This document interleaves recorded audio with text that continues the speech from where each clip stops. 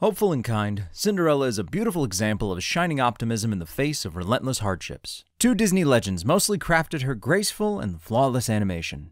One was Marc Davis, whom we have already covered. But who else could have executed such a warm, sweet, and caring young woman? Let's find out.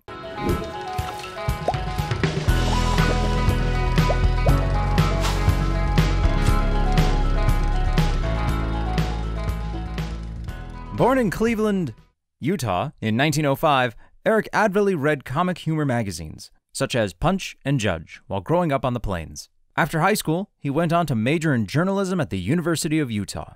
While there, Eric edited the campus magazine and won a reputation as a creative humorist in both literature and graphic arts. He also sketched cartoons, which appeared in the local Deseret News. After graduation, Eric traveled around America for a year, freelancing for various magazines, and, in 1933, landed in Los Angeles. There, he developed an adventure serial for KHJ Radio called The Trail of the Viking. That same year, a friend suggested that he take his talent for drawing to the Disney studio, which was looking for new hires. Eric rejected. In Didier Ghez and Joe Campanana's book 50 Years in the Mouse House, Eric argues, but it's a mechanical, monotonous business. You take two drawings someone else made, place one over the other, and make a drawing that fits in between. You're wrong, replied his friend Dick Creedon. You've built your whole conception around the function called in-betweening. I promise that the animated cartoon as Walt wants it made will challenge every creative talent you can muster. After some coaxing, Eric agreed. At first, he became what he feared, an in-betweener. However, after about 40 days, animator Ham Luske saw his talent and pulled him into his office to be an assistant animator. He worked as a cleanup artist, erasing construction lines in Luske's drawings to be ready for ink and paint. Eric writes in 50 Years in the Mouse House I became an underpaid model, acting out actions and holding poses for Ham to quick sketch for inspiration in his animation. I acted out Persephone, the goddess of the spring, for him. In the confined area of our room, and before an audience of three, I struck the dear girl's aesthetic poses and waltzed through the phases of her dance of spring. I swung tennis rackets, paddled canoes, played Santa taking up off the chimney. I hopped like a happy little bunny rabbit and pouted like a childish little kitten. I became an amateur mime. I began to understand the importance of each drawing an animator made, that each had to make a strong statement of the fact, strong caricature of the real thing in action, personality, and pose. If a character were running, he had to be running, the greatly exaggerated flow through his body. If he squatted, he had to squat far beyond a human's ability to do so. If he were elastic, every line through his body vibrated. And needed in every one of those drawings was a movement and rhythm few illustrators of the day ever achieved in their drawings. Eric eventually became an animator and worked on Two Gun Mickey in 1934 and On Ice in 1935. His contribution to Snow White consisted of drawing all the woodland animals that Snow White interacted with. I didn't realize that when I got on the Snow White, I'd be having maybe 10, 20 animals on one page, trying to move them around in, in a composition that would be interesting.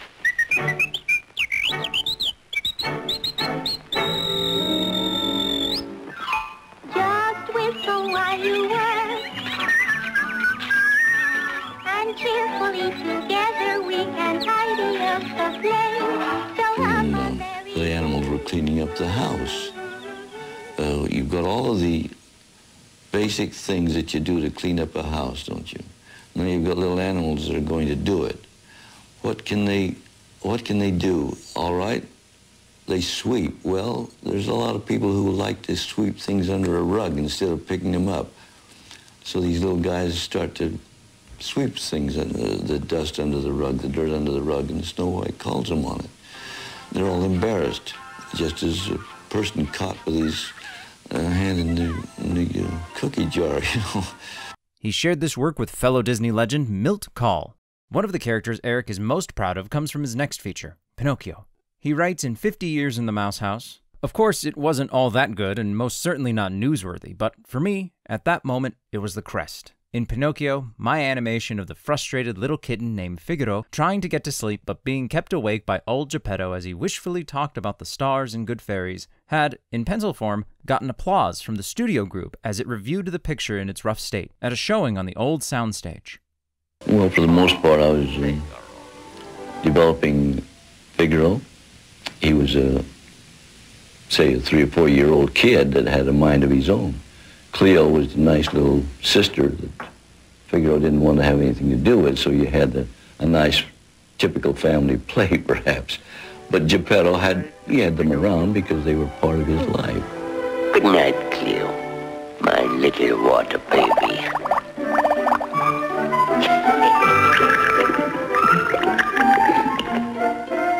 Figaro, you say good night too.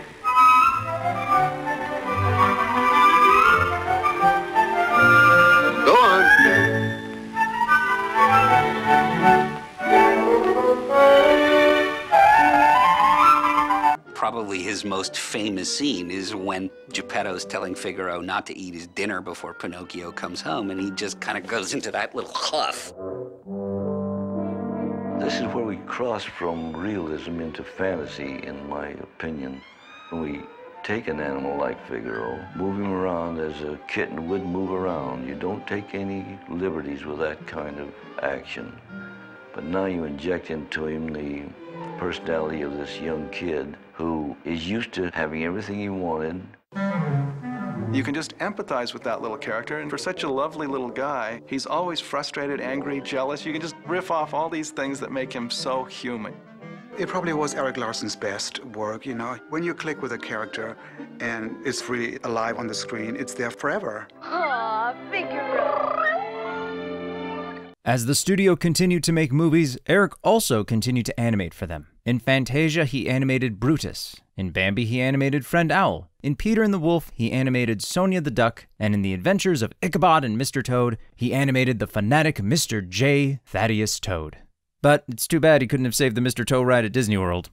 When Cinderella rolled around, Eric shared the title character with fellow legendary animator Marc Davis. Eric remembers, I was the first guy to animate on the girl, and I took her as a little 16 year old gal with braids, kind of pug nose. Marc came on it, and she was more an exotic dame. Poor Ken O'Brien had the job of making Marc's gal and my gal look like the same gal, and that was a terrific challenge for a cleanup guy. Eric Larson and Marc Davis were equally skilled as draftsmen, and they were assigned the difficult task of animating Cinderella. There are certain scenes in the film that when I think of the scene, I think of the person who animated them. When Cinderella wakes up in the morning, it's so much like Eric.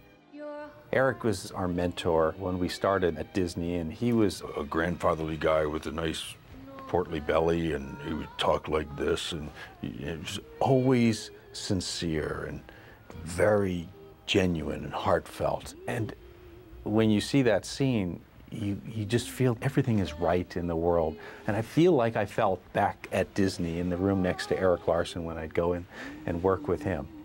I remember Eric Larson talking about the fact that he and Marc Davis, they didn't quite see eye to eye in terms of Cinderella. All right. Breakfast is served.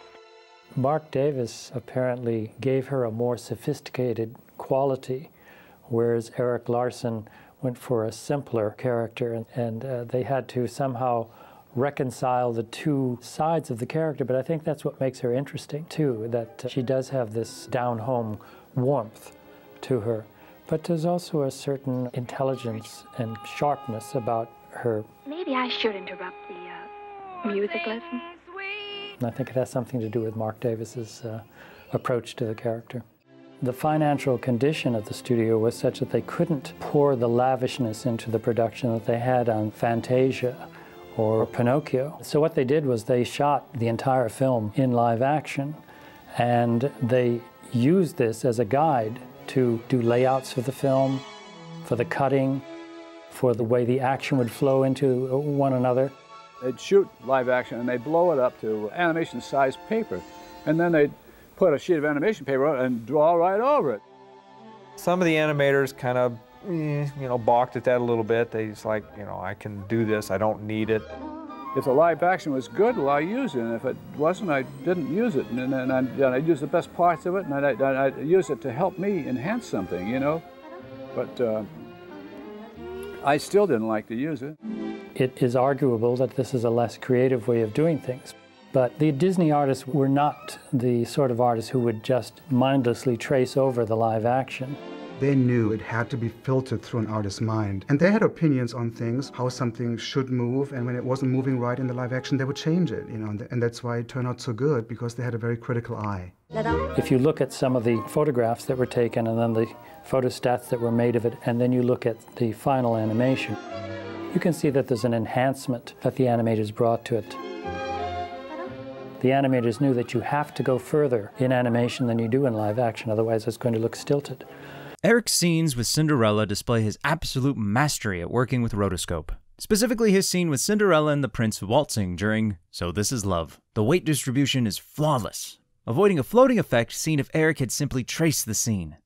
It's so pretty, look at that, it's so gorgeous. We can find similar mastery in his scenes with her trying on her dress and pleading with her stepmother. Eric would go on to animate a multitude of characters through Disney's golden age, and was even a director on Sleeping Beauty. In the 80s, Larson would be tasked with educating recruits for the Disney studio, training a new generation of animation masters. We'll discover all this and more in another Dizographies. Thank you for watching this episode of Dizographies. Click the thumbs up button below if you liked it, and if you want to be notified when the next episode comes out, consider subscribing. Comment below with characters you would like to see us cover. Further reading and references are linked in the description. We hope to see you in another Dizography.